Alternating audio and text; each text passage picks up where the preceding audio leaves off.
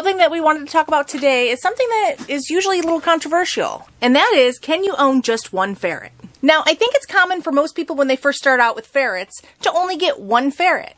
This is what we did when we first started with ferrets. Our first ferret, Dobby, was all by himself for about six months before we got Winky, our second ferret. Now, depending on who you talk to or where you read online, really depends on what kind of information you get when it comes to should ferrets have other companions. Now, when we had Dobby for that first six months before getting Winky, he was actually a pretty happy ferret. We played with him all the time and he actually bonded to us a lot. He was one of our only ferrets that actually really responded to his name and always sought out attention with us. Now, that obviously was probably because he didn't have any ferret companions. Now, was this the best for him?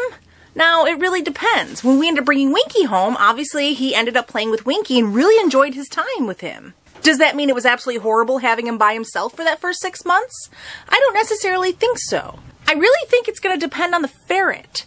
There are some ferrets out there that actually don't like other ferrets, and I've seen where they've actually gotten really aggressive with other ferrets. Those ferrets may be happier just being by themselves.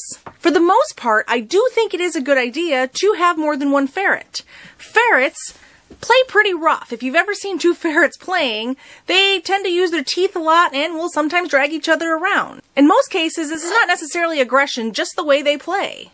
And most humans, they're not going to be able to fulfill that role because most of us aren't going to want to be grabbed by these pointy, pointy teeth and then dragged around. It hurts. While we're no expert, I do think they enjoy the companionship of each other. So before, when both me and my husband were working long days, anywhere from 10 to 12 hours, we made sure they had a huge cage area so that way when they were home alone, they had tons of room to play since they couldn't be free roam. We had two double ferret nations attached, so this was six feet wide by two feet by over six feet tall, so they had a lot of room.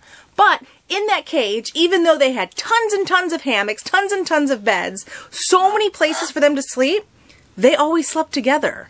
Even now, when they free roam, most of the time we find them all still curled up all together. So while there is no evidence that 100% supports that ferrets can be alone or if they prefer to have buddies, we really feel that they prefer buddies. So if you plan on getting a ferret, I would wait and save to make sure you can get two ferrets if you can. Again, just watching and seeing how our boys always have played together and how they prefer sleeping with one another, we just really feel that they're happier with others of their kind.